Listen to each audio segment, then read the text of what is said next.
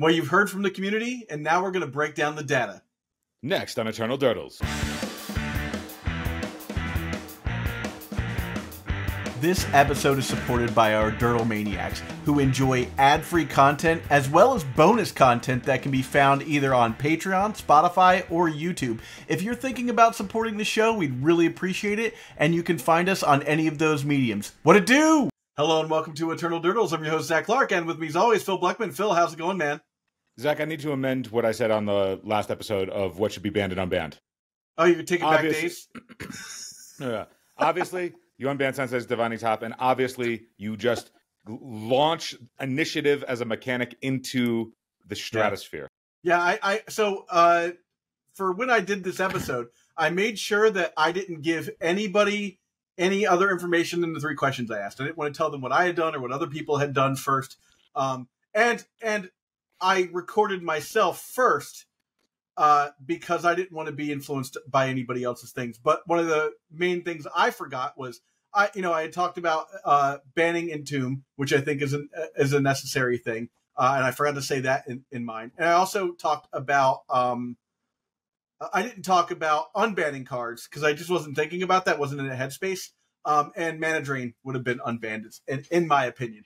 So, uh, with that said, I have some numbers, and I want to uh, uh, go down this path with you, Phil, and, and sort of break down some of the uh, some of the numbers that I have put put together off of this. If I may jump in before we get Yeah. into the numbers, uh, one of the uh, themes that was uh, present throughout all of this data that we're going to talk about was, excuse me one sec, that was present throughout all this was the all the talk was about of banning with a slight touch on unbanning. But a lot of the cards that we're going to talk about in this data, whether that's Beanstalk or Psychic Frog or Orcus Masters or any of these things, one of the uh, things that we highlighted from our last episode that a lot of people were interested in was actually unbanning uh, a mass exodus from the ban list rather than adding more to the ban list. And I think that that also should warrant the conversation. It's not going to happen in this this turnaround in this ban discussion with WotC. Like they're not going to do any of these Yeah. things. But I think uh, at large, I think like as we talk about up the beanstalk as a potential player on the block, but that if expressive iteration and up the beanstalk existed at the same time, would you actually have to make some hedge? And then there would be some variety in those decks as opposed to just beanstalk versus like blanks everything else, and then it just becomes whoever has beanstalk on beanstalk. Same thing with Orcish Bowmasters and Psychic Frog, where it's if you had Dreadhorde Arcanist and some of the other uh, powerful two drops that would otherwise see play, then there, that power level is flattened. We've talked about this, but I just want to highlight that again as an ongoing conversation that I think the community at large should start to lean into a little bit more, even if people don't think it's actually the way to go to actually like voice their opinion that that's not the way to go uh, rather than fall into the uh, category of every time tempo gets a two mana card advantage engine it's too good or um, anytime something that is just like oppressive against an entire macro type uh, is uh, totally unstable, that there isn't anything to pressure against it, i.e., Beanstalk versus uh, Expressive Iteration, and things like that. I think that that's where the conversation should go if we're not actually going to ever get rid of the diseases. Um, and the diseases being like the stuff that has become format identity, like Daze and Ancient Tomb and things like that. And if we're not going to actually explore banning the diseases in a serious way, then I think actually upping the power level to make it more flat across the table so there's more decisions to be made is where the conversation uh, not only has to go but should go if that's where if that's the timeline we live in. But let's get into the data.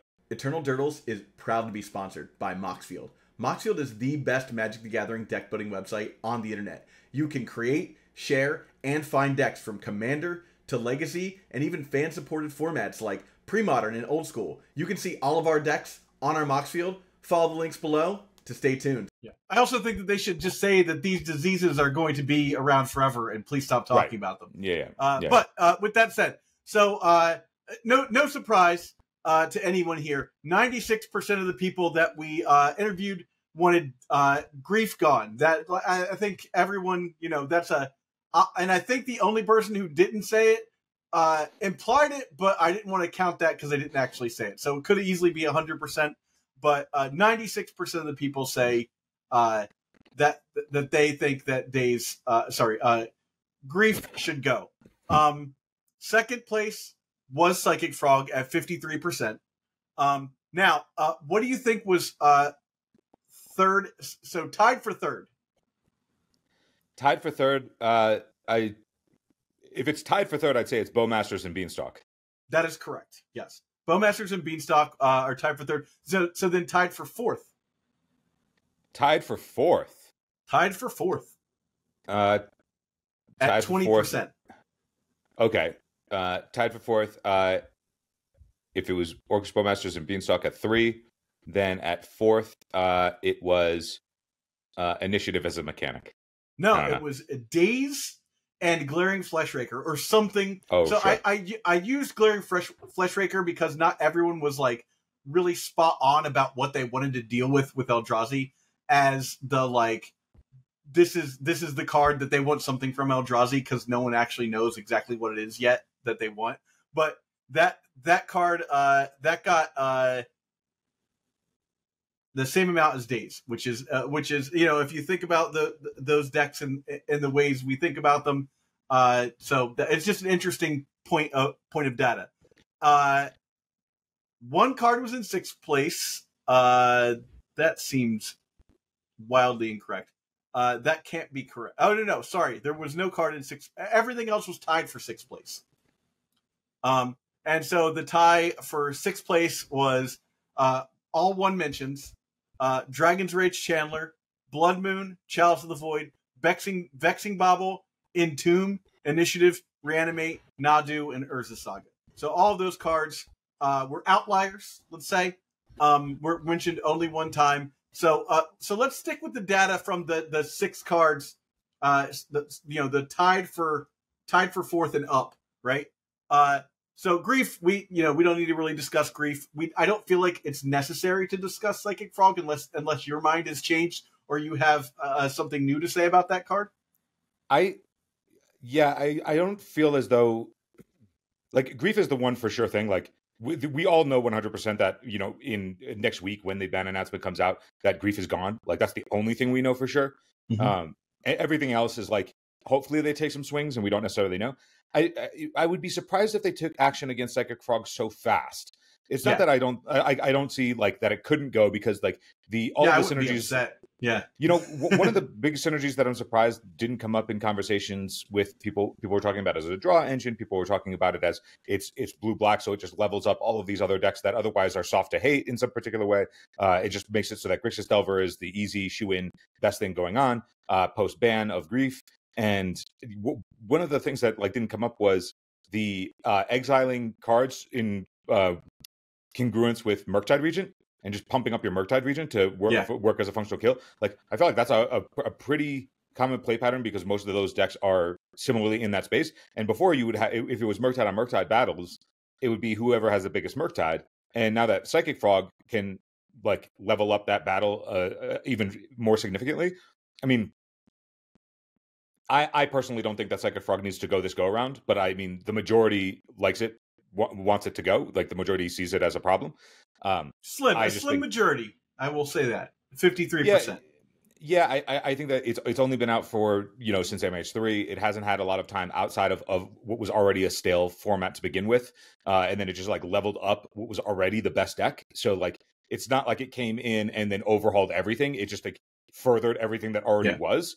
I think that Grixis Delver was already in, in discussion with Bowmasters as the next best thing anyway. It just now Grixis has just more options available to it between Nethergoyf and now Psychic Frog and Orcish Bowmasters. So like that that hasn't changed all that much either in terms of like what what does the format look like in the, as a whole. It's still a Daze Wasteland shell with the best threats that you can pack into that into that suite. So that that's not surprising to me. Um, I think that if Psychic Frog goes, nobody loses any sleep over it. But I would be it, I would not be surprised at all if they were just like we're not we're not even looking at psychic frog as a, in, a, in in a meaningful way. Um, yeah. Compared to other problems that they have to solve, and I would be surprised about, like, if if they said anything like that. I feel like they're either going to ban psychic frog or not even talk about it. I feel like it's going to be one or the other. They might ban psychic frog just because the majority of players are already outspoken about it, and they just yeah. want to you know appease everybody after you know lame ducking the format through the whole summer. You yeah. Know? They could they could I, do that. I, I I personally would rather see them unban stuff to contend against yeah. uh, Psychic Frog and what it's doing, rather than just opening that slot up to what the next best thing is. And then they get they just will unilaterally like you know how like sometimes they'll be like, you know, we've looked at data and we can see that what is likely to happen after this ban is so and so is going to be the best deck. So they've you know, so only done that one time. I was talking to a lot of people about this. They've done it one time and it was for standard. So I do want to touch on that. T- touch on that as well, but continue what you were saying. I'm saying that, that that's that's the precedent for taking action against more than one very like very specific thing. Like we know grief is the problem. Nothing else theoretically that you could you could. I mean, you could argue that there are a bunch of problems, but like grief Yeah. is the like the clearest, most blaring offender. So it's like once that goes, it's like what actually is the is the top deck? Is it just a blue black you know Scaminator shell without grief, or is it uh, Grixis Delver, or is it something else? Or you know, we don't clearly know, but like they the only time they've ever taken action against cards where it's like, well, that was surprising. That wasn't on our radar at all. Like when they banned Reflector Mage at a standard, nobody thought that that card was going to go. At the time, nobody thought Reflector Mage was no, on. Reflector was on Mage was, was a problem. It was the uh, it, was the other card. There was like a energy card that they that they banned. Like, uh, or was that the ener- energy card was the problem? Yeah. there- yeah, Yeah, there, yeah, there- yeah. there was. That's I what it forget was. if it was energy or if it was Emrakul or whatever it was, but like one thing was the problem, and then they were like, but if this goes, then blue white just becomes like the best thing going on. So we're taking preemptive action against that. And, And they've done that again with uh, raging, rampaging Ferocidon. They were like, right, we're gonna ban this deck here, but like the obvious next best thing is to just be playing red deck wins. So we're gonna we're gonna nerf that immediately before you even get a chance to to mess around with it. Um, which Yeah, I, I- I, honestly I appreciate because then it's like you know if they're gonna do it in two months and standard. This is this is the point I want to make is that standard is a rotating format. You have much less time with those cards. They should be making changes faster in standard than they're making in, in legacy. I, I 100% like get behind that as a design philosophy it, because like pro tours and stuff depend on that and and you like I said you have a very limited amount of time uh literal infinitely less amount of time right like th- than than you do in uh, in legacy to enjoy those cards. So if that is the case, don't have people go out and buy a $200 deck, right? And then say like in a month like yeah, that's trash. You can't, you know, because that's what happens when you when you ban these deck when you ban these cards in standard. Like the entire deck is invalidated. Yeah, because they're reliant on the power outliers that exist in the you know Exactly. smaller card pool. Yeah, yeah. I think like if if they actually do take that kind of time with legacy and look at whatever data they're actually looking at, like who knows what they're actually seeing. But if they only ban grief, then they already like we already know collectively like what the next best thing is and what will be the next best thing going into Eternal Weekend, and it Well, will be some my- variation of That was my argument with up the beanstalk. You know, Mhm. I was like, let's let's nerf up the beanstalk, let's nerf Grixis Delver, and let's nerf uh uh the Riscaminator decks all on the same blow, and then see what the meta looks like after that. Yeah, I, I think that that's where w- the I think that that's where I'm more interested in the max ex- exodus off the ban list than I am of putting more stuff on the ban list. So some stuff that should obviously go. Grief is just a play pattern thing, right? Like it's just Yeah. a bad experience. It's not like it's too powerful. It's just a bad experience. It's a Gitaxian Probe type of uh, affair. Just get it out of here. Nobody Yeah, actually wants to not not have fun. It's not Yeah. fun. There are other cards though that people like. Although they found them as power outliers. One thing that I I I mean I know uh, Benucci had mentioned it that he like like really enjoyed playing with Dreadhorde Arcanist, and um, that was also a shell that always existed with Oko in the format too. So like it was a bit tainted as to like what was going on at the same time. And I think that like when we if we think about like a mass exodus onto the ban list, and then like like, like you just said, and then see where it shakes out from there.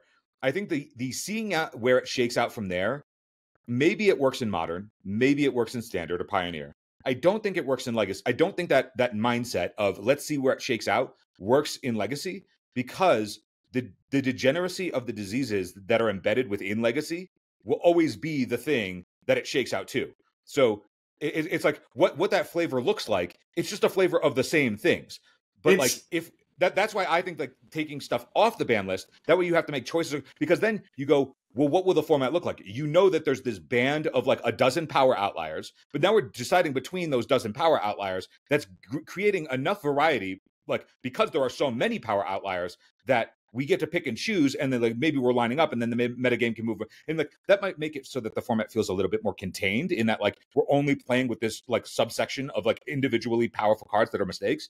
But I think it's better than okay, we're just going to go to whatever the de facto only best thing is within the diseased shells. Yeah.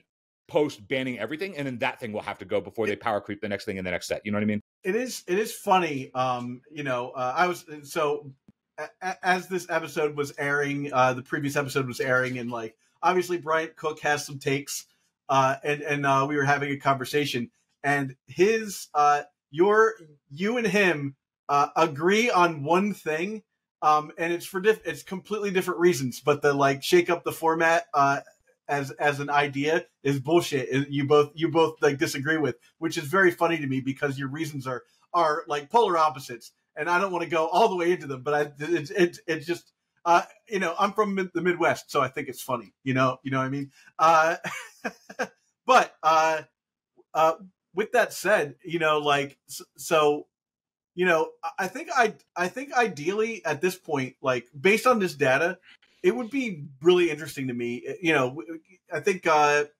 Brian Koval Brian Koval was saying like uh, an ideal band band announcement would would see ten cards across formats, and like if we look at the just just what our data shows, right? Six cards from Legacy would be a wild wild ride but I think it would be like super cool for the format. I don't think again, I don't think that they're going to do that. Uh, but man, six cards would be like really cool to see like how the format shakes up. I'd really like to see what the format looked like after that. I would like to also just tag on to that that it would be wild if they banned six cards right in the same announcement. Yeah. But it's I, it doesn't feel like it would be so wild because well, it's long overdue for a format that hasn't been curated properly. Right. That, that, that's like... that's what I mean. It's like there are a bunch of cards that like if they all went in one go, it's not it it, it won't feel like oh wow, yeah. they really they really did something. It's, it's like not like they've, they've really slow rolling. Up. It's they've been up for a long time, you know. Yeah, they've been slow rolling a bunch of things that they should have been taking action on for a long time, and also the with the way that they're produced that they they print cards now, like cards are geared towards four player, and the cards yeah. played in four player are just going to be increasingly more powerful over time because they need to they, they need to they're they're they're not designing for 1v1 they're designing for four player and then happen to shoehorn it into 1v1 yeah. and that's that means that like not only will ban lists have to be like more often will cards be getting chopped, but like more a higher volume of cards should probably be getting chopped at a faster clip. Like yeah. the format is a rotating format because of the design philosophy post COVID. Like that's just how it has that. Is, that is the exact th- uh, thing I wanted to point out. I was like, what would actually be an ideal ban list announcement for me was they take some sort of meaningful action, whatever that is, right? And then they say, our philosophy with legacy has changed we are going to be taking a closer look or a more a defined look at the format and taking action earlier. You will you may see ban announcements in between our normal ban announcement schedule, which they they're already like deciding that the ban announcement schedule is different anyhow. But like sit, having them say something like our philosophy with legacy has changed because of uh, the reaction to the last ban announcement. Something like that. What, that for me would be an ideal. I don't care what is what cards are actually on the ban announcement. Those words would mean more to me than any one particular card. I, I think that I hear you when you say our legacy, our philosophy on legacy has changed, and I go, "What is their legacy philosophy?" Correct. I don't have yes, one. yes. So, uh, so not only they, not only I, I, think they would not only have to be like declare what their legacy philosophy is, but then they would have to like actually define that and then abide by it. And there's just no way that they're going to do that. Yeah. Like I, there, there's no. I mean, they couldn't do lovely. it with modern, Don't get me wrong. You know. Don't get me wrong. I would, I would. Well, they've already done that and then abandoned it and then never looked at it again, right? Yeah. Because they then people hold their their toes to the fire when they like are have to contend with the fact that they are pushing cards to like an absurd degree and like you know everybody looks back at the, like, the modern philosophy of like no turn four kill or nothing before a turn four kill right yeah. they're like we just refuse to let that exist in our format no turn four kills P- players can routinely die on you in standard with Slickshot Show-Off and whatever the fuck you can die on yeah. turn three you know, like yeah. that, that's just totally out the window. It's uh, outrageously out the window. The idea that they they would abide by yeah. whatever their philosophy is. Previous format I, boogeymans don't even make sense. I, and those I, are the two think, big ones. I think that like a format philosophy for legacy, rather than, or I mean, for any format really, rather than saying here are the the like guardrails with which decks or strategies can exist within it, like no turn four kills or whatever. I think it should be like play experience and like uh format oppression right? You like, know, if cards are available in the like when when they got rid of Fury, the, I mean, the argument of getting rid of Fury in modern at the same time when Wrenn and Six and and Bowmasters and all this other and stuff brief. exists, it's like they like essentially like what I noticed when they did MH3. MH3 had so many two butts and four butts that were so glaringly obviously because Bowmasters Orcish Bowmasters yeah. exist and Lightning Bolt exists. There was no other reason or design rationale for why cards have that have a two butt or four butt should have a two butt or a four butt, right? Yeah. It was only like That's if you the look real at the card, rotation, right? Like once you make your removal bad, right? right? Right. Well, I'm, I'm saying that like when like when if if you're if you are as uh, as WotC designing cards, and if in anywhere in your file you have more than one card that exists at a difference in toughness or a difference in whatever because so and so card exists and we needed to not die to that or not lose to that that that should be a red flag on the card that you just brought up in the file as the Yeah. reason that you have to change your design right Yeah. because you're now no longer designing to the design you're designing to the design around the problem that you already put in the format that you could just get rid of so it's not a problem. Or just say that it's fine. You know, like look, things can die to or lightning that's fine. bolt. You know, things things can die to lightning bolt. That's totally okay. If you spend three mana on a Nadu and it's a three three, um, it deserves to die a lightning bolt. You know, like that's a card I- people I- should be able to get rid of. You know, I, I am I am also of the the uh, mindset that if your if your thing dies to removal, that's okay. Yeah. If your thing dies to removal and the removal kills you too, that's a problem. So like Yeah. when if Wrenn and Six can obsolete your X one and then also kill you, problem. If Bowmaster can kill your thing and also kill you, problem. You know, like if your removal is also your win condition, like that, that and it's cheap, right? And it's like uh, it, it I mean, like people it's, are going to jump in the comments and say, "What about lightning bolt?" No, no, I'm saying like lightning, like Yeah. lightning bolt can kill you if you're down to three, but Yeah. like it's not like you can just run out your lightning bolt at your leisure and then incidentally Yeah. blank a bunch of cards and it kills you. You know, while also making Th- th- it so I'm glad you you, I'm glad you uh you, you validated that point. Yeah, Um, yeah, it's just you know like- what would be interesting, Phil, is is uh so back. This is geez, this was probably before Splinter Twin got banned. I wrote an article on Hipsters of the Coast uh, about the ban list, uh, why it's banned in Modern. I think is is or that card's banned in Modern. I think I called it, and it was a two part episode. And I went over the entire Modern ban list and uh, and and went by, by each thing. I posted the announcement in which it got banned, and then I I uh, gave it co- gave that context up and decided whether or not it could be unbanned. The unbanned part we do at the end of every year, so that's kind of whatever.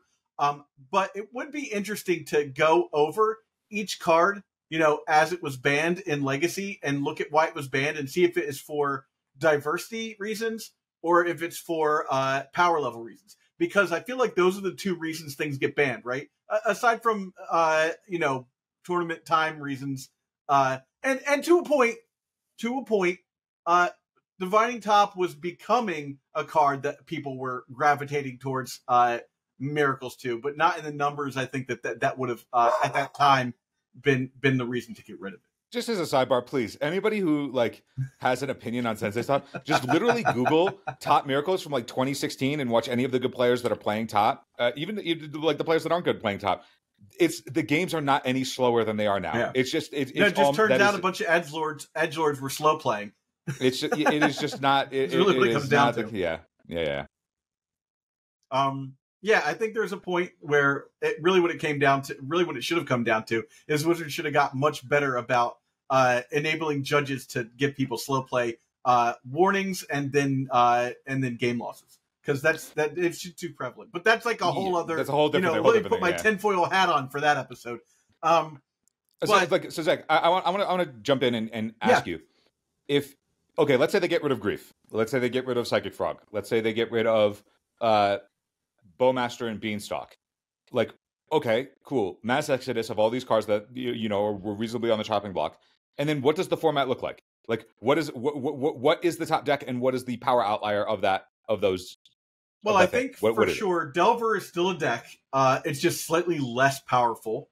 Uh, Is with- it without without psychic frog? Slightly less powerful than it would be with psychic frog. okay? Um, that that's that's my that's my stance on it. It- You know, instead of it being a tier above, like two tiers above everything else, maybe it's one tier, right? Um, and then you have Eldrazi still, right?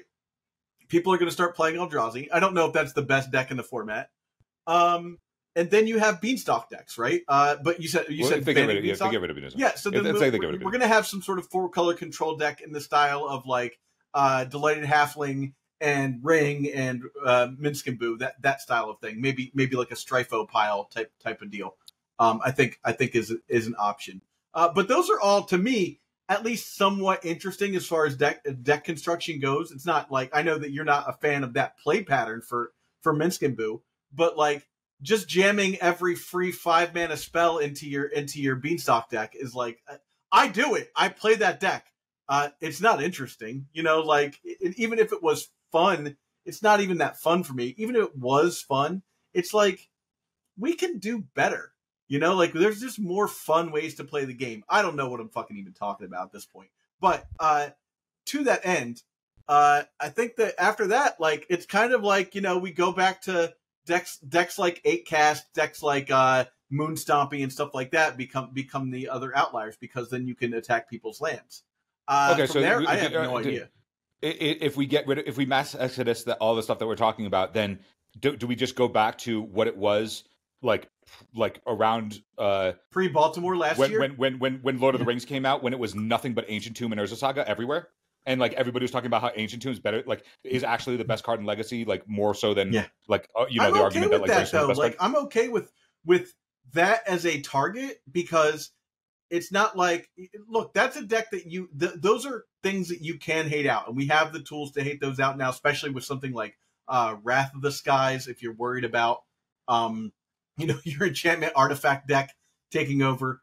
Uh you know before it was like only red had access to meltdown. Now like white has access to meltdown and thusly blue and white has access to meltdown. You gotta mess around with the man a little bit but like you know I don't know. I think that I'm I'm fine to live in a world where the ancient tomb decks are good. I'm not fine to live in a world where the blood moon decks are good, but you know, like, what are you gonna do?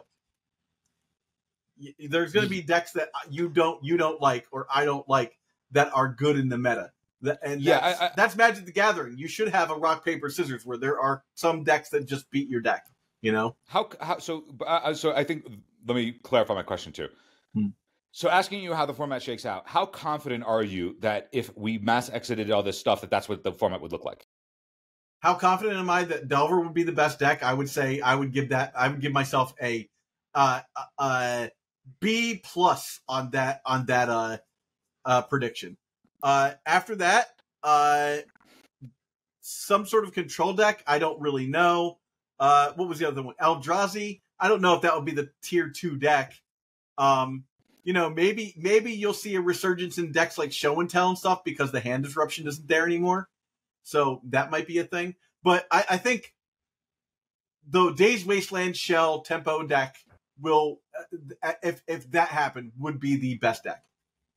If the format goes back, like let's say you get rid of all the, like Grief goes, and then suddenly the Ancient Tomb decks, a la Red Stompy, or you know the Urza Saga based uh, shells that you know have been uh, seemingly priced out outside of Painter, um, or uh, Initiative comes back.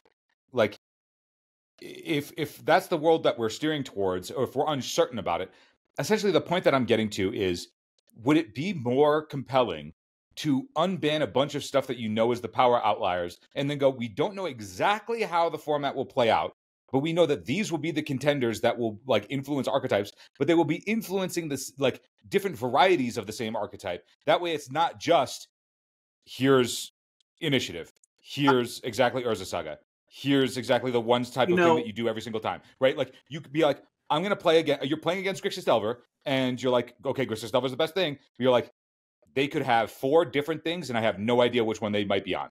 Well here's here's where it comes down to. Will that be better for the format? Maybe Will it be better for me and you? I don't think so because we approach the format in sort of the same. Uh, we we approach competitive play in a very similar stance. We're both control players uh, at our hearts, right? So what happens is uh, not knowing what you're up against kind of sucks. I'm not, uh, the thing is, you know? I, am not. I'm, I'm not advocating for like no, what no, I would want yeah. because it would be. It would like make my experience or like the way that I like to oh, yeah, like yeah, the decks no, that I like to play better. I'm saying that like would it just be overall healthier as it like right now everybody's on Psychic Frog's ass because it's everywhere. But yeah. if, if, if we didn't have only access to Psychic Frog as an option, right? Like we had yeah. Anu, Anu was on and he was like, I played with Psychic Frog. It's totally the real deal. Would Anu even have like really tested or stress tested Psychic Frog in the same way if he had access to expressive iteration?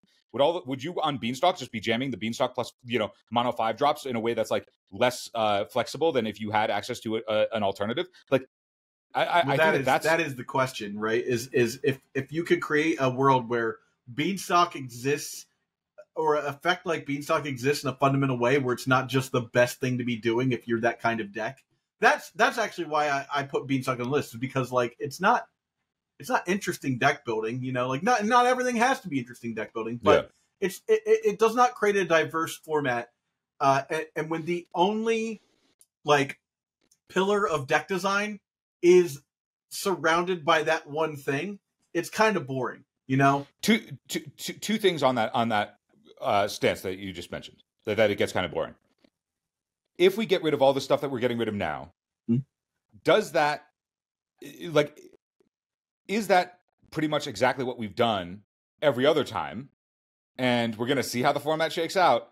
And it's inevitably going to shake out in the exact same way where we get to a hmm. lame duck position of a similar card advantage effect becomes too good. I think that is but, is this the, one of the symptoms of this format now is that we do always eventually get back to that lame duck position based on the age of the the fact that the internet exists and cards are good. So given that that is the pattern, right? That has been the pattern every time. Outside of a weird power outlier that like just makes things absolutely horrendous, that's like totally nonsensical, a la grief or uh, underworld breach or whatever.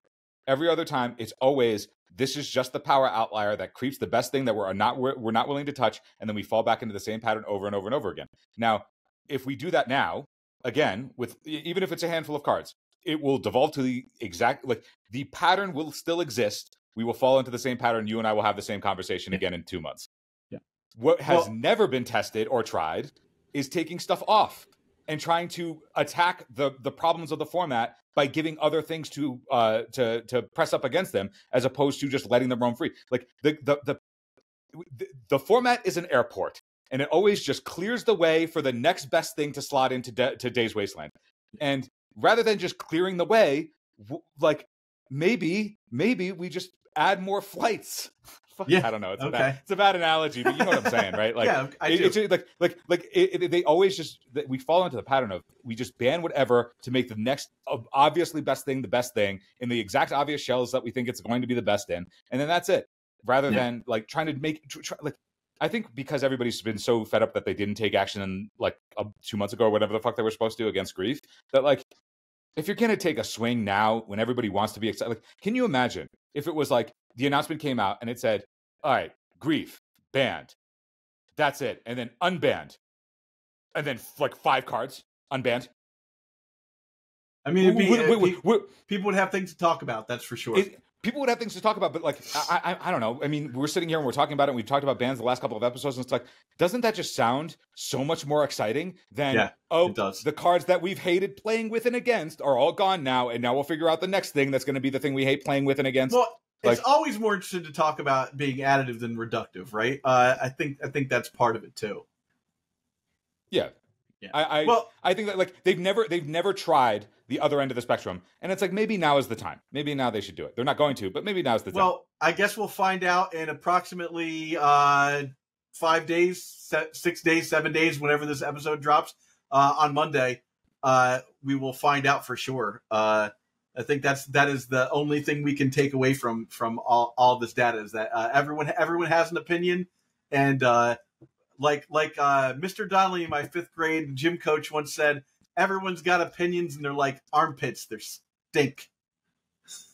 Mm, there you have it. There you have it. All right. Thanks everybody for watching. If you get a chance uh, and you want to support the show, you can go to our Patreon at patreon.com slash eternal durdles.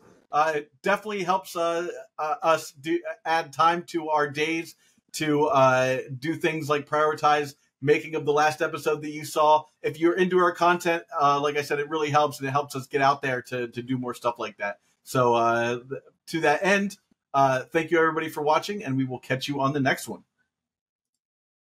Before you go, I need some help. Please subscribe to this channel and do your part to help sustain the legacy content ecosystem. Just subscribing to this channel goes a long way to reminding YouTube that people love and support this format. Now, if you really want to go the extra mile, you should think about supporting us through Patreon. Both the links for subscription and Patreon are right here. And if you're listening on an audio format, you can go to patreon.com slash eternal durdles. Thanks so much for watching.